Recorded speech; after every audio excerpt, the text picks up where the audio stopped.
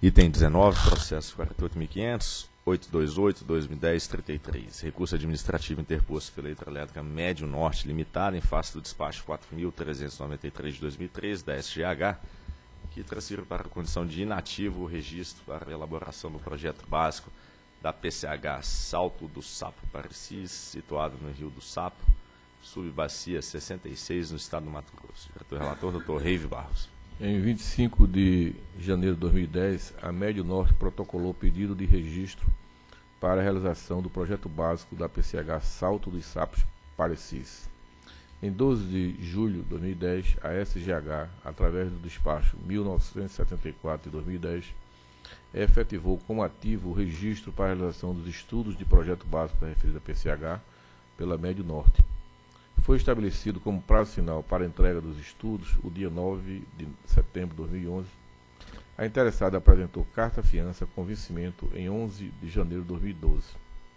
Em 19 de julho de 2011, a Médio Norte, através da carta SSP PB 001 de 2011, apresentou justificativa para a solicitação de mudança dos níveis de água estabelecidos no inventário. Em resposta à SGH, através do ofício 3020, de 28, 23 de agosto de 2011, informou que otimizações que não interferissem na partição de quedas poderiam ser realizadas na etapa de projeto básico sem a prévia anuência da ANEL. Em 22 de agosto de 2011, a Médio Norte, através da Carta 02 de 2011, solicitou prorrogação de 180 dias para, do prazo para entrega do projeto básico em questão. Em 15 de setembro de 2011, a SGH, através do despacho 3.728 de 2011, negou o pedido de prorrogação de prazo e transferiu para a condição de inativo o registro. Tal fato foi comunicado ao agente por meio do ofício número 3.279 de 2011, 16 de setembro de 2011. Em 24 de agosto de outubro de 2011, a Médio Norte, através da carta sem número, interpôs recurso administrativo contra a decisão do referido despacho. Em 14 de dezembro de 2011, a SGH, através do despacho 3.728, manteve a decisão proferida e encaminhou os autos para a liberação da diretoria. Em 17 de janeiro de 2011, a Médio Norte, através da Carta 011-2012, apresentou renovação da apólice do seguro garantia com vigência até 2 de janeiro de 2014. Em 24 de janeiro de 2012, a diretoria, através do despacho 214-2012, prorrogou o prazo para apresentação do projeto básico da PCH Salto do SAPS Parecis para 7 de março de 2012, bem como exigiu a representação ou renovação da garantia de registro. Nesse sentido, a Médio Norte informou já ter apresentado a carta 012-2012 a renovação requerida.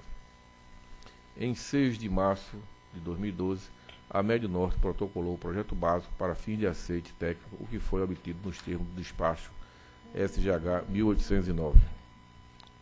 É, em 26 de 12, a SGH, através do espaço 4.393, transferiu para a condição de inativo uh, o registro para a realização do projeto básico da PCH Salto do Sapo Parecis, em virtude do descumprimento do, do parágrafo 3 do artigo 7 da Resolução 343 de 2008, o qual transcrevo a seguir.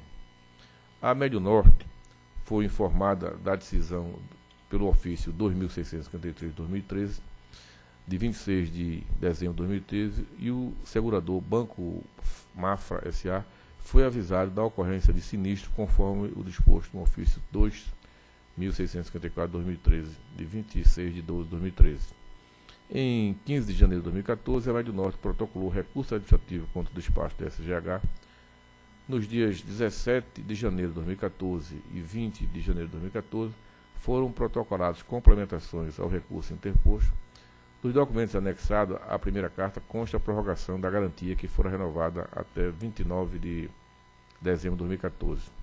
Em 15 de janeiro de 2014, o Banco Mafra protocolou carta informando que a garantia da Médio Norte havia sido renovada na data de vencimento para 02 de janeiro de 2014 e teria vigência até 29 de dezembro de 2014. Cópia da mesma foi anexada pela Médio Norte em sua correspondência 17 de janeiro de 2014.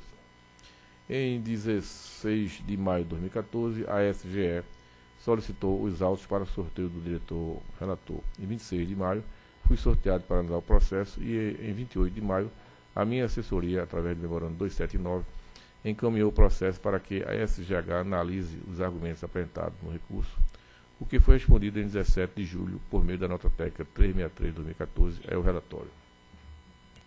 Sustentação oral que será feita pelo Dr. Yuri Almeida Belchior Ortiz, representante da Hidrelétrica Médio Norte Limitada. É, bom dia, cumprimento a diretoria na pessoa do diretor geral, Dr. Romeu. É, Anote-se inicialmente a questão da tempestividade, houve alguns problemas, mas o despacho que cientifica é, da, da, transferência da condição de inativo, o pedido de registro do projeto básico da PCH Sal do Percis é o despacho SGH 2653 de 13. É, esse despacho foi recebido no dia 6, né, portanto o prazo seria dia 15 de janeiro, quarta-feira, 10 dias a, a, após o prazo recursal. Né? Então, portanto, seria tempestivo. Todavia, é, o outro despacho que a, a recorrente recebeu, 2654, ele foi recebido é, numa data é, pelo, pelo carteiro. Ele mesmo assinou como se tivesse recebido o próprio carteiro. Isso foi objeto de ocorrência, de boletim de ocorrência. Está para apreciação da autoridade policial. Por isso colocamos aqui que não houve a intimação desse, desse ato. Somente o ofício recebido na data de 6 de 1 de 2013. Portanto, seria a data para contagem do prazo é, da tempestividade. Né? Quanto aos fatos, é, senhores diretores, insta observar aqui que em nenhum momento a ANEL ficou descoberta da questão do seguro. Houve a renovação prontamente ao seu vencimento. E essa é a praxe dos mercados aí de seguros. E por isso que não há que se falar na execução da garantia. Não houve prejuízo para a administração pública. De forma aqui bastante sucinta, está salientar aqui o voto do nobre diretor aqui, sobre esta questão, já foi de, aqui pela Procuradoria, nos autos processos 48500, é, 2484 de 2010, é, dígito 05, de 27 de 11 de 12, aonde o diretor é, Romeu assim destaca. Por outro lado, a não renovação da garantia de registro no prazo determinado não deve implicar na renovação automática do registro. De forma paralela, a execução da garantia deveria ser concedida ao agente na execução da garantia, deveria ser concedida ao agente a oportunidade para sua renovação, assim, sob pena de revogação do registro. Nesse sentido, conforme observou a PGE, o interesse público é mais plenamente atingido com a manutenção e eventual renovação da garantia de registro até o momento em que não for mais necessária. Não é de interesse público a inativação de um registro após a apresentação pelo interessado do projeto básico, devidamente aceito, passível de aprovação, pelo mero termo final da garantia de registro, sem abertura de oportunidade ao interessado para sua renovação. Além disso, a PGA observou que deve ser observado o direito do agente à ampla defesa e o contraditório, o que não ocorreu no presente caso. Nesse sentido, a inativação deve ocorrer apenas após a intimação do agente para que se manifeste. A PGE concluiu assim que mesmo que posi mesmo que a intimação do, é, concluiu assim que mesmo que posição seja a de que o agente deva diligenciar pela manutenção de sua garantia de registro, merece reforma a inativação do registro. Além de concordar com essa posição da PGE, cabe destacar que o objetivo principal que se busca no processo é a elaboração de estudos de qualidade e no prazo determinado. Assim, a garantia de registro revela-se uma obrigação acessória. A falha no cumprimento da obrigação secundária não deve impedir que se concretize o objetivo principal almejado. Dessa forma, deveria ter sido oportunizado ao agente a recomposição de sua garantia de registro. No presente caso, entretanto, verifica que o agente já providenciou a renovação de sua garantia.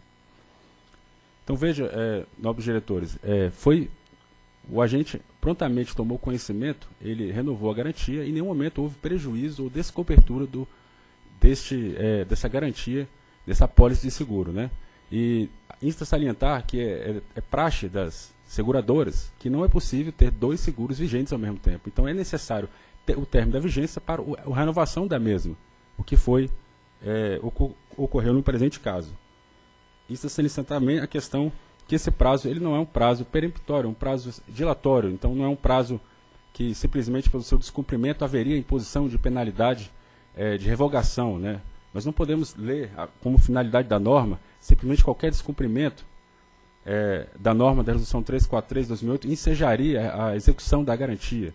Né? A finalidade é justamente a apresentação do projeto básico. A finalidade é que o agente invista nesse potencial gerador, que ele não simplesmente é, fique tomando esse potencial como uma reserva de mercado, mas que ele é, potencialmente cumpra as determinações de prazo para entrega do projeto básico, apresentação de informações, né, complementações, para que seja assim cumprida é, um interesse público no presente caso.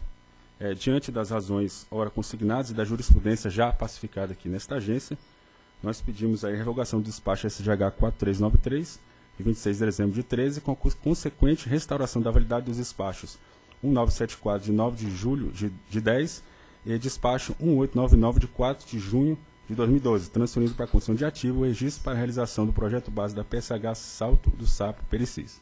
É, muito obrigado. Procuradoria.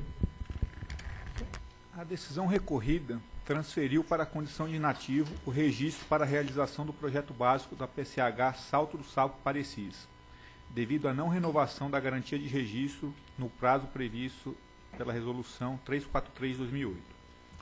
A Procuradoria ressalta que a diretoria da ANEL tem diversos precedentes no sentido de que a não renovação da garantia de registro no prazo determinado não deve implicar na revogação automática do registro. No caso dos autos, ao que parece, o interessado conseguiu renovar a garantia até dezembro de 2014, de modo que o registro merece ser restabelecido, seguindo a orientação dos precedentes do colegiado. Trata-se de recurso administrativo interposto pela empresa Médio Norte contra o despacho número 4.393, de 26 de dezembro de 2013, que transferiu para a condição de inativo o registro para a realização do projeto básico da PCH Salto do Sapo Parecis, devido ao não atendimento ao disposto no parágrafo 3 do artigo 7 da Resolução Normativa 343, de 9 de dezembro de 2008. A SGH fez análise da admissibilidade do recurso e concluiu pela sua tempestividade. Em relação ao mérito, esclareceu que o seu posicionamento está baseado no disposto do artigo 7 da Resolução número 343 de 2008 Segundo a SGH, a citada resolução estabelece a necessidade de que a garantia de registro permaneça válida até o adimplemento das condições à eventual devolução, se for o caso, ou troca de garantia. Por outro lado, a SGH reconhece que a diretoria da ANEL, em diversas oportunidades, manifestou sua posição acerca do tema. O posicionamento da diretoria é de que a garantia de registro é uma obrigação acessória, cuja falha no cumprimento não deve impedir que se concretize o objetivo principal almejado, qual seja a elaboração de estudos de qualidade no prazo determinado. Conforme deliberações da diretoria, verifica-se que não atende ao interesse público a inativação de um registro após a apresentação pelo interessado do projeto básico, devidamente aceito, passível de aprovação devido ao termo final da garantia de registro sem a abertura de oportunidade ao interessado para sua renovação.